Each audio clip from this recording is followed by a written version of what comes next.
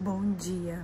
São sete horas da manhã. Parece que eu estou completamente sozinha no aeroporto. Não sei o que está acontecendo, mas calma. Deixa eu te explicar que aeroporto é esse. Como você viu nos últimos vídeos, estávamos em Londres. Agora estamos na Itália. Exatamente. O nosso projeto era ficar em Londres até pelo menos o final de janeiro, mas nós tivemos um imprevisto com a nossa casa aqui em Lecce, na Puglia. Em Lecce não, porque agora estou em outra cidade. Mas tivemos um imprevisto.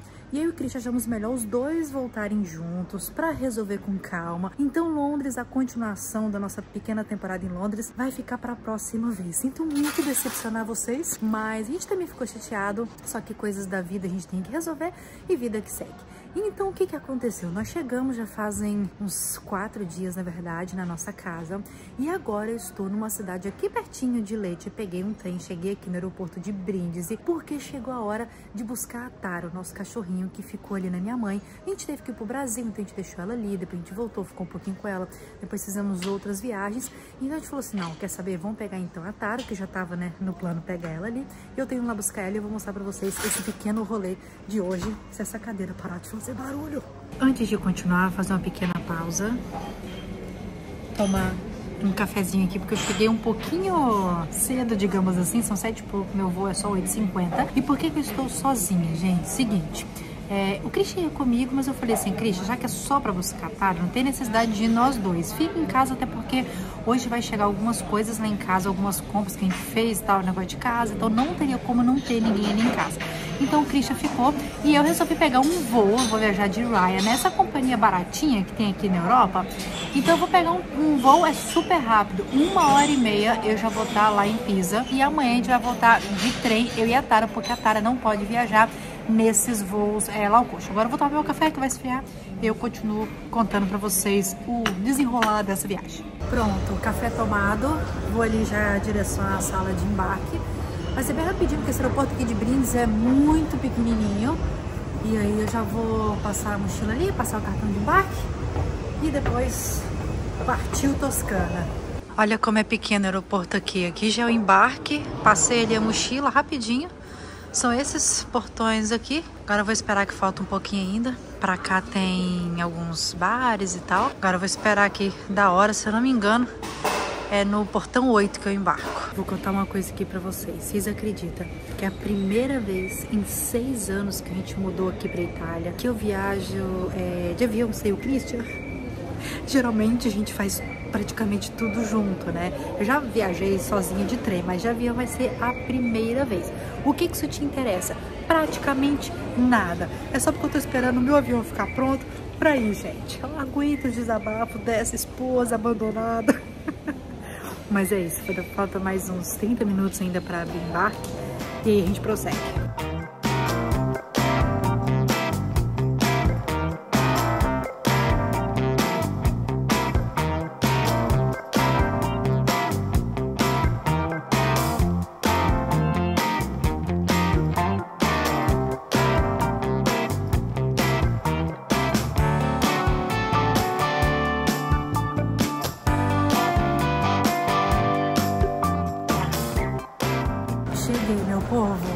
Parei aqui no aeroporto de Pisa, daqui até a casa da minha mãe é rapidinho. Ela acho que vai, ali fora, vai estar ali fora me esperando. Próxima coisa agora é ver quem?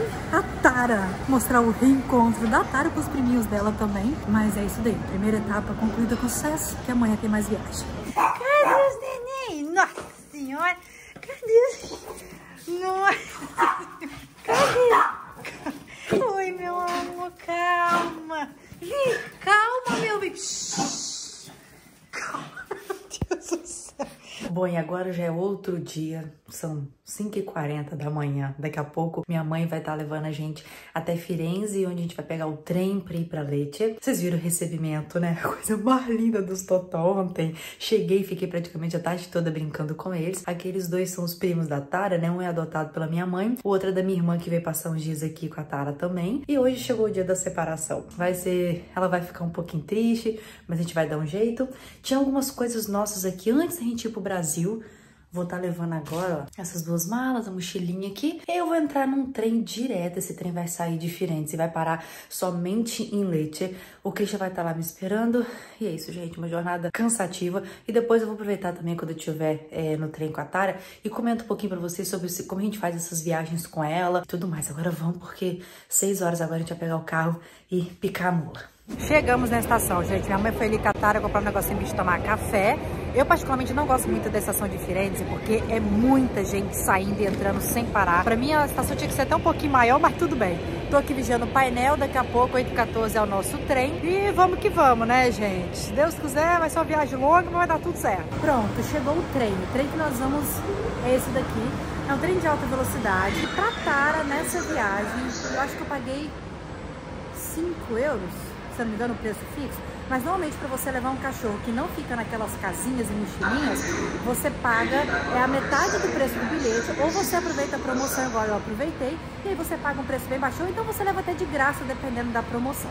Então para levar a Tara, eu levo ela normal, com a focinheira dela na minha bolsa, se eles pedirem, os documentos pessoais da Tara, que é o libreto sanitário dela, e tá tudo certo. Agora vamos entrar porque o trem já vai partir. Uma dica importante para vocês é o seguinte, cachorro não pode ir na classe premium, executiva, não lembro, nem na área silêncio, nem numas áreas que são mais caras do trem. Mas essa área aqui que eu tô, ela é muito melhor do que a área normal. Essa daqui é a business, então tem mais espaço. Quando vocês estão assim, abrir, tem um, um lugar específico para cachorro no trem? Não, gente, ele vai nos seus pés, ou do lado, ou no espaço que tiver assim. Você traz às vezes um tapetinho higiênico, se ele fizer alguma coisa, mas a Tara nunca faz. Então eu trouxe comida, água e tudo mais. E é isso, é assim que funciona aqui na Trinitária. Se o seu cachorro for pequeno e você sempre levar na bolsinha ou na caixinha, você transporta gratuitamente, põe no seu pé também. Mas o trem é muito bom, tô impressionada, vai ser uma viagem bem tranquila, porque tem espaço para tudo, espaço para mala. A Tara é super quietinha, como vocês podem ver. E é isso, sete horas e meia agora, e a gente vai encontrar o Christian lá e vamos ver o que, que dá nessa viagem. Ainda tem alguém que deu sorte, porque o moço que estava sentado aqui desceu. Agora eu tô com todo esse espaço para mim.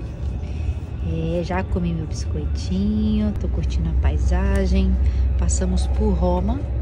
Já já chegamos em Caserta e vamos que vamos. O bom desse trem é que eu não sabia, né? Eu não lembrava disso, mas quando você compra na classe business, eles até servem uns negocinhos, serve água, serve café, serve coisinha para comer, uma bobeirinha assim.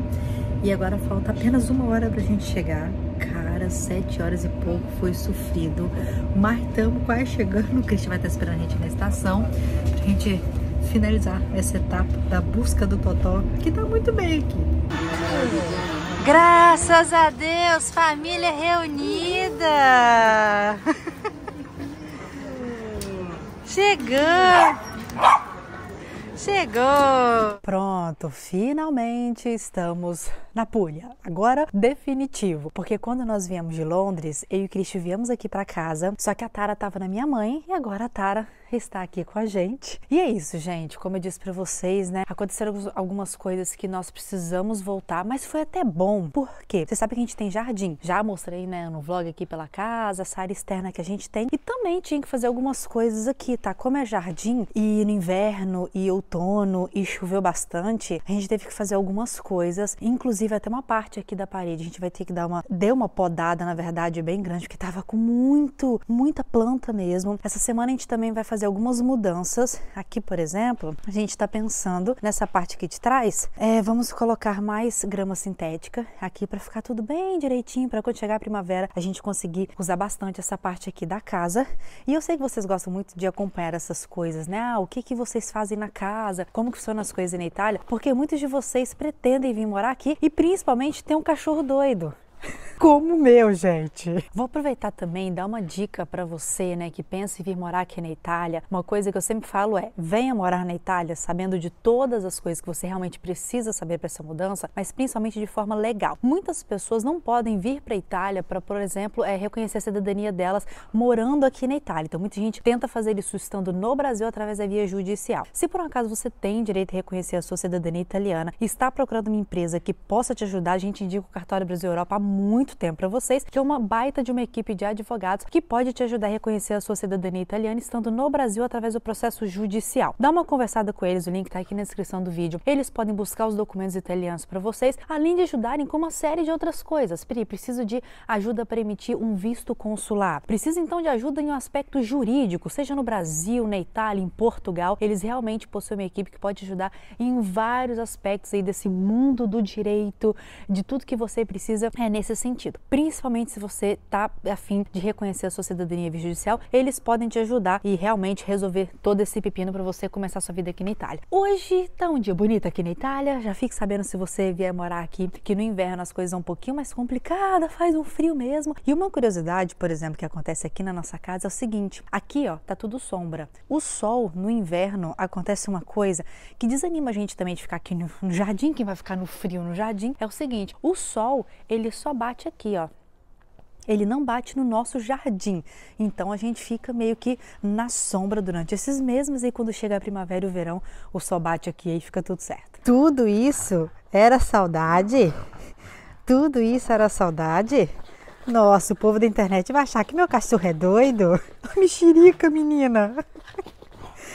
A mexerica. Pronto, agora todo mundo vai matar a saudade da Tara Brogueira. E por falar em mexerica, olha o nosso pé de mexerica. Tem tanta mexerica aqui que eu não sei nem o que a gente vai fazer. Inclusive, comentem nos comentários como que você fala mexerica na terra onde você mora. Olha como tá, não só o pé de mexerica, como o nosso pé de limão está completamente carregado. Inclusive, comenta aí se depois você vai querer acompanhar essa próxima etapa do jardim, que eu sei que vocês gostam, para pegar dicas e tudo mais, porque essa semana realmente a gente vai chamar o jardineiro. Eu e o Cris também vamos fazer umas coisinhas aqui por conta própria, ajeitar essa parte aqui. Como tá chegando, né? É, chegando não, meu Deus, ainda estamos em janeiro, mas como eu acredito que a primavera vai ser uma delícia, a gente quer também fazer algumas coisas nessa outra parte aqui para você entender melhor como que funciona essa casa que a gente está morando aqui. Tem o vídeo do tour pela casa e tudo mais, mas a gente pretende deixar tudo bem bonitinho. Agora é inverno, as plantinhas tudo se for, mas daqui a pouco elas começam de novo. E é isso, agora eu acho que a gente vai pegar a Tara e vamos dar uma voltinha na cidade, aproveitar um pouquinho de sol, porque eu vi que de tarde chove. Não sei se a gente vai, se depender da cara da Tara, a gente vai. Christian, mais uma pergunta. Ah. Qual é a sensação de finalmente voltar para casa depois de cara, sei lá, o último trimestre foi, foi foram punk três, de trabalho? Foram três meses e acho que uma ou duas semanas. Exato. Me dá uma sensação de, ai, finalmente cheguei em casa onde tem meu conforto, né? Onde a nossa casa ela é grande, ela tem um jardim, e a nossa casa, né, gente? É, As nossas coisas, você está né? acostumado. Né? E onde você pode trabalhar também com mais eficiência, né? Eu estava sentindo falta disso, mas eu já tô com saudade de Londres.